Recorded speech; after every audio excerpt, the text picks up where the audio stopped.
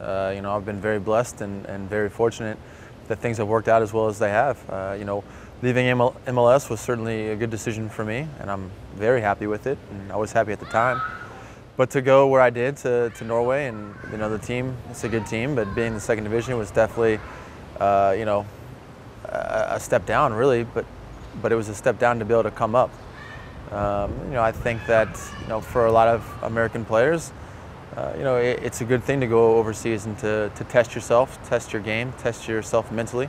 Yeah, well, being away from home, being away from you know your loved ones, your family, your friends, uh, being in a different culture that's you know totally foreign to to what you're used to, uh, not being able to speak the language when you first get there, and you know having to to to feel a little uncomfortable, you know, being out of your comfort zone, trying to to test yourself in, in, different ways than you know MLS and, and home can can do. I had success in Norway, and I met my wife there, and we both love Scandinavia.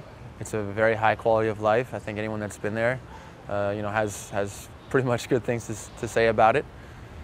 And you know, my contract was coming up, and you know, the, the team in Norway they didn't they didn't want to sell me, so you know, I was going to be a Bosman player, and I was free to to test the market and that's when Brøndby, you know, uh, approached me, and you know, I, I jumped at the opportunity to play at, in my opinion, the biggest the biggest club in, in Scandinavia. Uh, we had another young Danish player that was captaining the team, uh, Michael Krohn very good player, and I think you know everyone thought that he would be the guy that would take over the captaincy. Uh, I had been captain a couple times when he was unavailable, um, so I, I, in my head I thought that I would be you know second choice captain.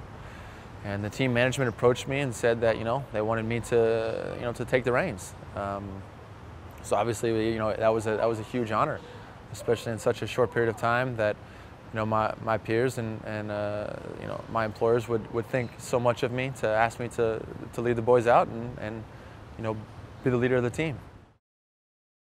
I mean I think anyone, no matter where you're from, you know that's definitely a goal to be able to represent your country.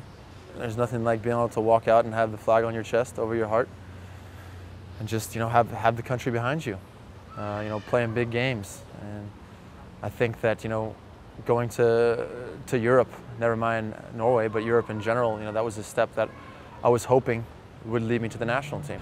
I've always said from day one that it's a tremendous honor to be able to, to wear the jersey, you know, to be able to have the crest over your heart. It's a tremendous honor. You know, it doesn't matter who you play, doesn't matter where you're playing, doesn't matter what group ABC has been called in, it's a tremendous honor. And I've always treated it as such, and I always will. I think, you know, scoring my first goal for the national team, was the semi-final of the Gold Cup in 2009, we played Honduras. And that's, you know, dream come true. It was right before halftime. Um, score was 0-0 against Honduras. There was, you know, their full team, and we had, um, the U.S. had just played Confederations Cup, so we had a lot of players that hadn't played before you know, very, very much a, a B team, I would say, at the time.